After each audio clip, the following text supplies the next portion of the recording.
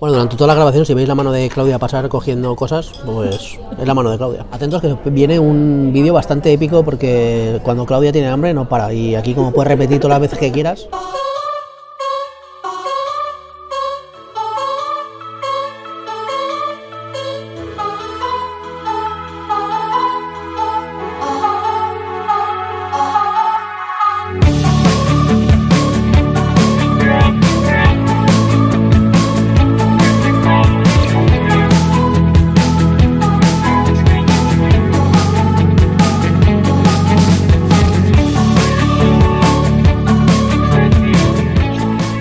Buenas a todos de nuevo, mi nombre es Tipiño y estás como no en Crónicas Gastronómicas. Hoy tenemos un vídeo muy especial y es que venimos a comer auténtico cocido madrileño en la ciudad de Valencia.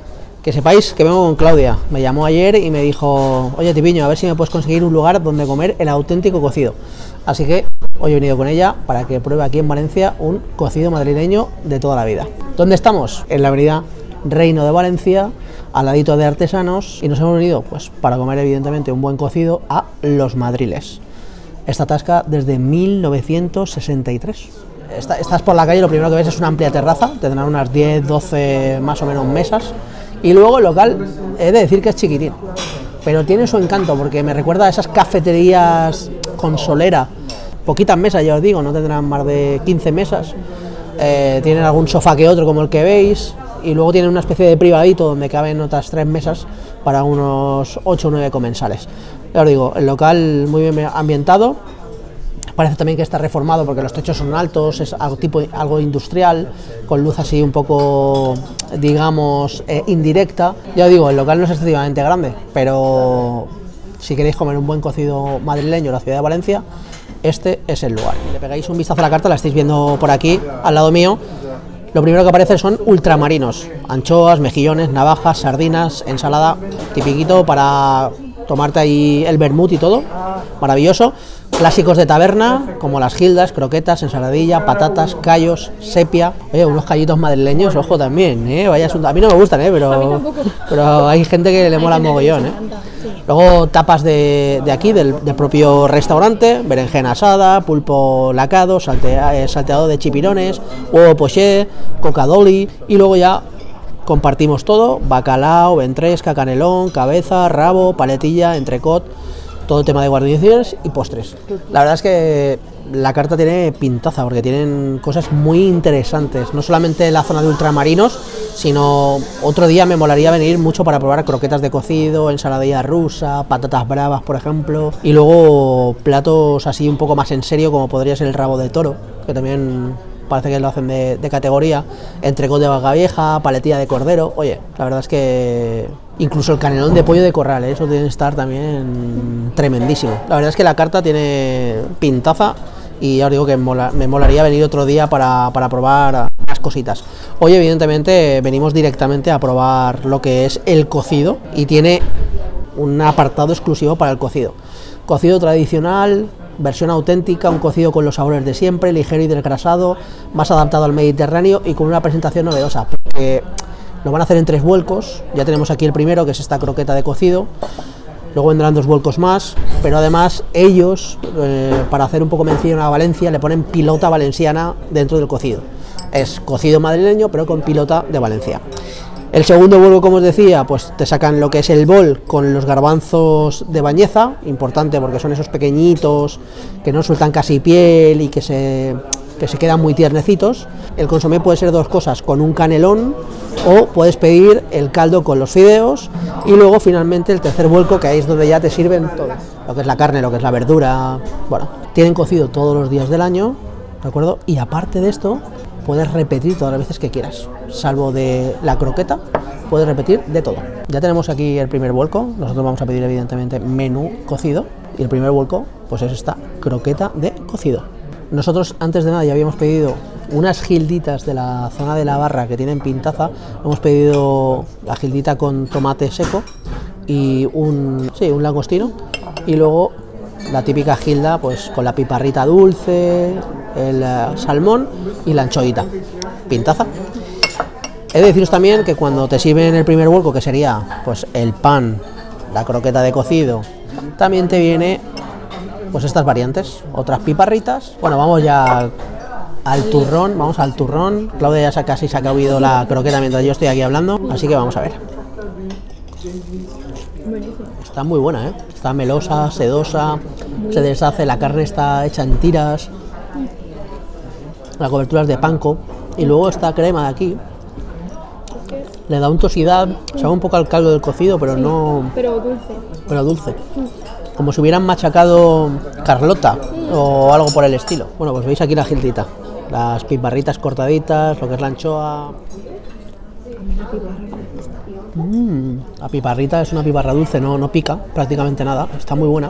Os voy a decir una cosa, por, para venir aquí un día y hacer un vermut también, ojo, ¿eh? Sí. Podemos tomar un par de gilditas, un- unas tonterías así, unas bravas, un par de gilditas, una cervecita o, o cualquier movida, un vinito, Y ahora con el y te, y te vas para casa a comer, ¿sabes? Es una así, para darte el vermut, o sea, entre las 12 y media y la una, de la- esto creo que abre la una, pues entre la una y las dos, hacéis un vermut y luego vais a casa a comer. Mm. Bueno, bueno, pues ya tenemos aquí los dos siguientes vuelcos. Hemos pedido que nos los sirvieran todo junto, porque a mí me gusta mucho mezclarlo en la propia sopa y a Claudia también. Y como veis, tenemos ya aquí los garbancitos de bañeza. Es un bol bastante interesante. Recordar que podéis repetir de todo menos de la croqueta y del canelón. Lo que pasa es que nosotros no hemos pedido canelón, nos apetecía más sopa, sopa.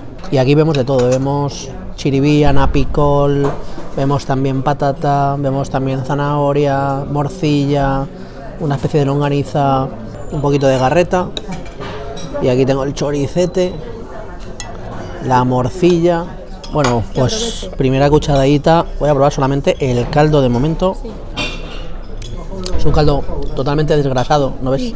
Ni una motita de, es- de ese aceite que se queda por encima de la cocción. Tiene un sabor súper particular a, a todas esas verduras. Sí. La pilota aquí la hacen un poquito rustidita, como veis, que tiene así un poquito de piel por aquí. Sí, yo me la he quitado. ¿Veis esto? He de deciros que entre un vuelco y otro, eh, la carne la guardan un momento en el horno para que esté calentita. El caldo también está muy bueno. Sabe más a verdura que a carne en sí. Me están flipando los garbancitos. La patatita está muy tierna también. La verdad es que yo creo que llevarán muchas horas haciendo chup chup esto porque está tremendamente bueno. Hacen alrededor de 8 grados, 10 grados. Y esto entra maravillosamente bien. Nada que envidiar al de tu abuela, ¿eh? Bueno, yo creo que aquí en Valencia estamos más acostumbrados a que sepa más a carne Mm. el caldo. Sí. Yo creo que aquí no es una- un problema de, de cantidad, sino creo que el caldo lo hacen por separado.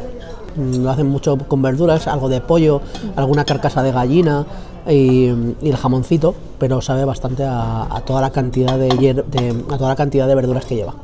Es un buen taco de jamón y está muy bueno. ¿Eh? Ojo a este pan, pan de masa madre hecho por ellos también. Vamos a probar la longaniza esta. Mm, Tenía razón Claudia, es como, como blanquet. Tiene ese saborcito característico del blanquet nuestro de aquí de Valencia. En mi casa estoy más acostumbrado a tener un caldo como más oscuro, como más concentrado. Pero también es cierto que aquí en Valencia utilizamos bastante colorante también para las sopas. Choricete. Hostia, joder. Mm, el blanquet y el chorizo me han flipado. Voy ya con la morcillita. Una morcilla muy nuestra de, de cebolla, de cebollita dulce, de muy buen sabor también. ¿eh? Las verduras están muy buenas, están muy conseguidas en su punto. Están al dentes, están muy buenas, pero las carnes, ojo, eh. Las carnes creo que están casi mejor, eh. Sobre todo la carne de ternera que te ponen. Y el choricito.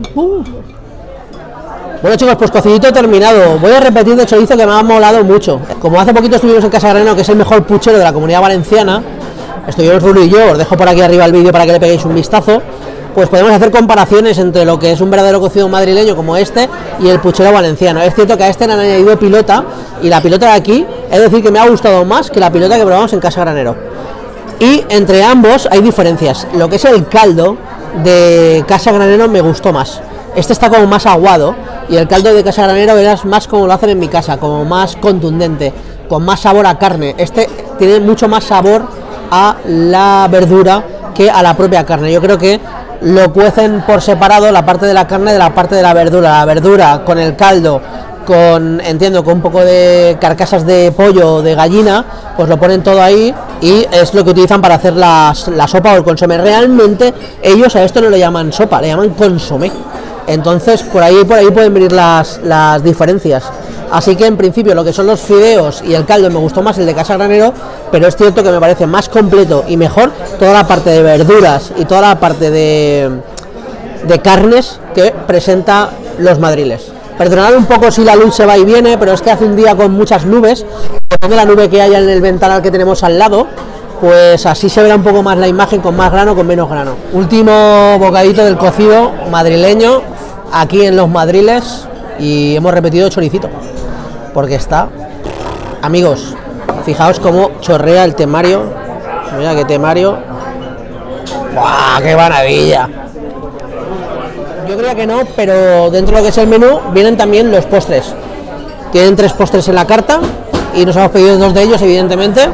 Yo he pedido piña con mistela un postre bastante interesante, sobre todo por la mistelita, tiene muy buena pinta. Y luego Claudia se ha pedido tarta de Nutella, que también viene fresquita. Y tiene un tacto así súper untuoso, súper mantequilloso. A ver qué me diga Claudia, a ver qué tal está. Haciendo un poco resumen de lo que hemos comido del cocido, deciros que los vuelcos me han parecido bastante correctos. Sobre todo me ha gustado que mm, lo que son los garbanzos vienen aparte. Me ha gustado, para que no se mezclara con todo lo demás. Me ha gustado bastante y no suelten ese pellejito que sueltan a veces los garbanzos. Al lío, vamos al lío, vamos a pegarle. Voy a saborear un poquito solamente la mistela, a ver qué tal.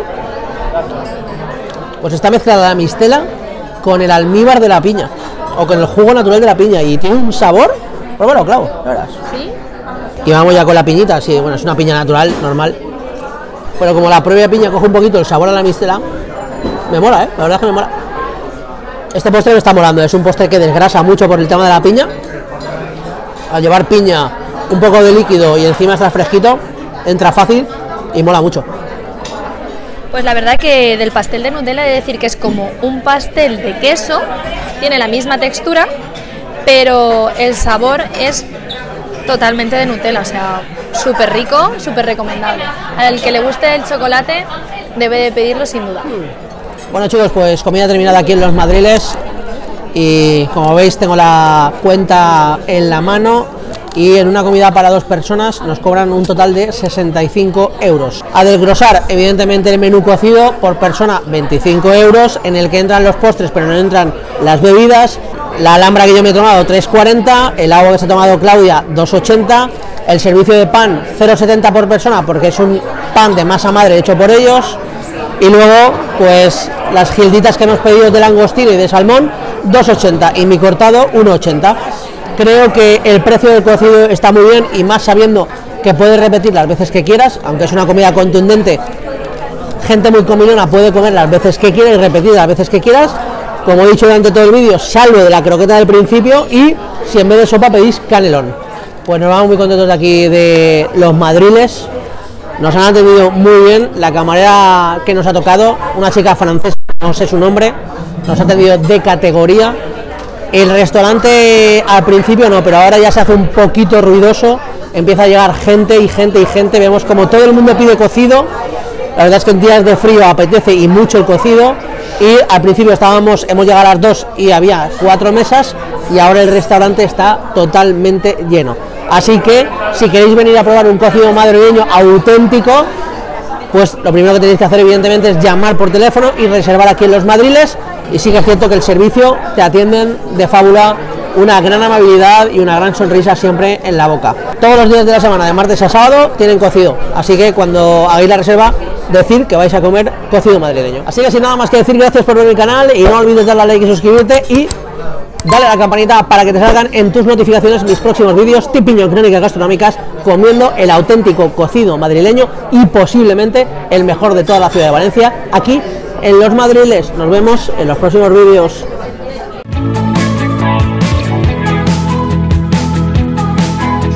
Que sepáis que hoy vengo con Claudia, me llamó ayer y me dijo, oye, hace bastante